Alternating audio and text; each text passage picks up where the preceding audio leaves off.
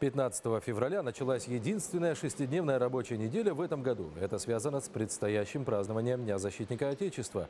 Рабочий понедельник, 22 февраля, решено перенести на субботу 20 Благодаря этому понедельник и вторник будут выходными.